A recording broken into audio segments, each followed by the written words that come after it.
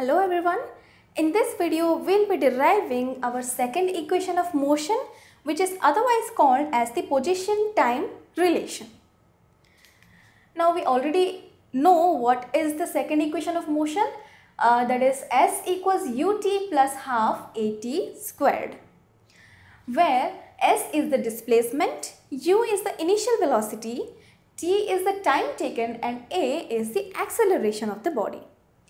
Here I have a velocity time graph uh, AB which uh, shows that the body is in uh, uniform acceleration. Now in order to derive this relation we will be drawing a perpendicular from point B on x-axis which touches x-axis at point C. Now we know that the body has not uh, started from zero velocity but it had a certain initial velocity which is given by OA.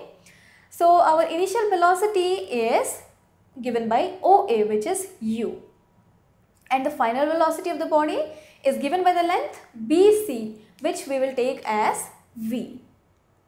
So BC will be equal to V which is the final velocity and OA equals U which is the initial velocity of the body.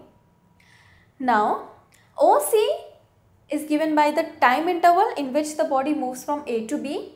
So OC is given by time t. So OC equals t which is the time taken.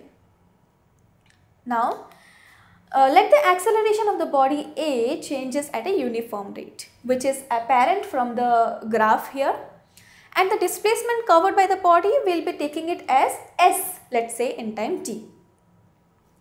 Now from the graph we see that the displacement of the body here is given by the area under the curve AB or area under the graph AB we can see. So here the area under the displacement is given by the area under the graph AB. So S which is the displacement is given by the area of the trapezium OABC. Here OABC is the trapezium and if we want to find the displacement of the body from A to B, we need to find the whole area under this graph which is AB. And this area is given by the area of the trapezium OABC. Now, this uh, shaded region, the area of the shaded region gives us the value of the displacement in this case.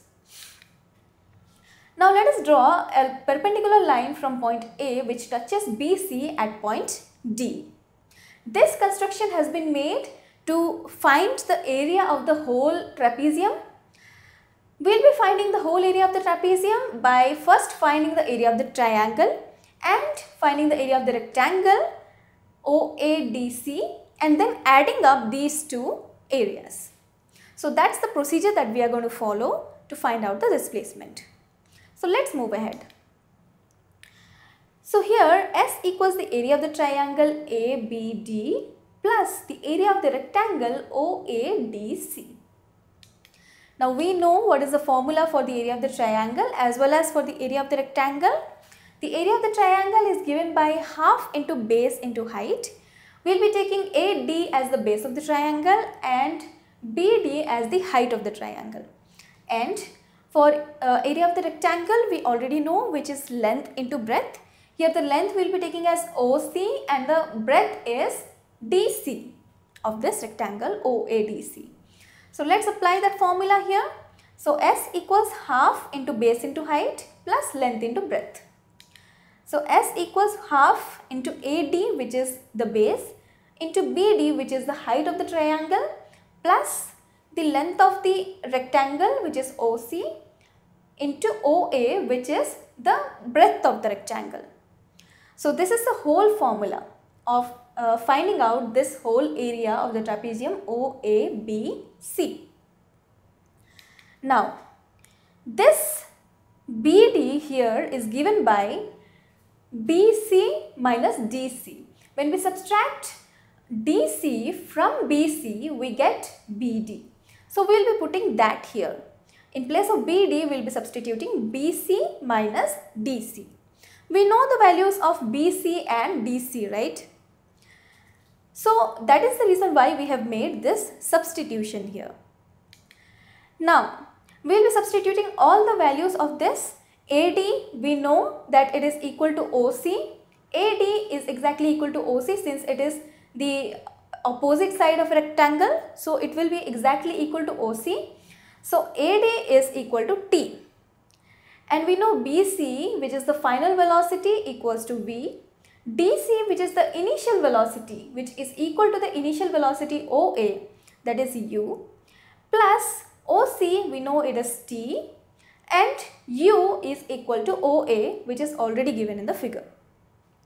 So we have put all the values here in this equation. Now S will be equal to half V minus U into T plus UT on evaluating this expression. We'll be taking this equation as our equation number 1 and we'll be using this equation later on in this derivation. Now from first equation of motion we know that V equals U plus AT. So V minus U will be equal to AT. So uh, let us take this equation as our equation number 2 here. We'll be using both the equations now in the process of derivation. So this is our equation number 1 which is S equals half V minus U into T plus UT and our equation number 2 was V minus U equals AT. Now on substituting V minus U uh, from equation 2 to equation 1 in this place we have S equals half V minus U into T plus UT. Now in this place of V minus U we will be adding AT which is from equation number 2. So on doing that we have S equals half AT into T plus ut which gives us s is equals to half at squared plus ut. Now on rearranging the terms we have s equals ut plus half at squared and this is our second equation of motion which we have finally got. So this is how we derive the second equation of motion that is the position time relation. I hope this video was helpful to you and as well as understandable. Thanks for watching. Tutorialspoint.com. Simply easy learning.